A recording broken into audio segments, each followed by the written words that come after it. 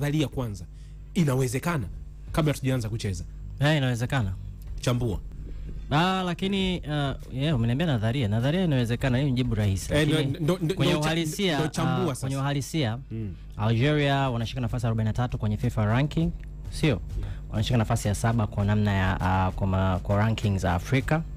Lakini uh, kama haitoshi nafasi ya 84 kwenye FIFA ranking duniani hawa ni Uganda wakiwa na alama 1279.18 lakini wanashika nafasi ya 18 kwa Afrika.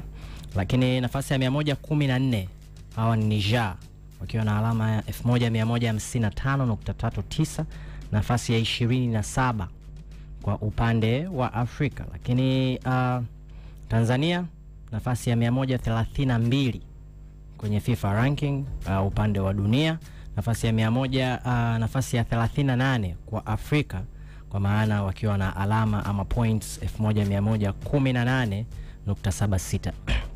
Ukiitazama hii kwa viwango vya FIFA na CAF uh, wanaoshika nafasi ya chini kabisa kwenye group hili la kufuzu AFCON uh, si wengine bali ni Tanzania.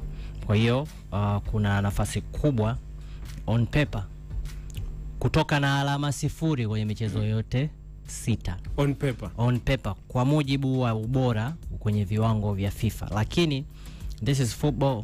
Ni football ambayo klabu ndogo kabisa kama Simba Sports Club iliwahi kuifunga uh, Ahli ambayo ni best in Africa mara mbili kwenye uwanja wa nyumbani.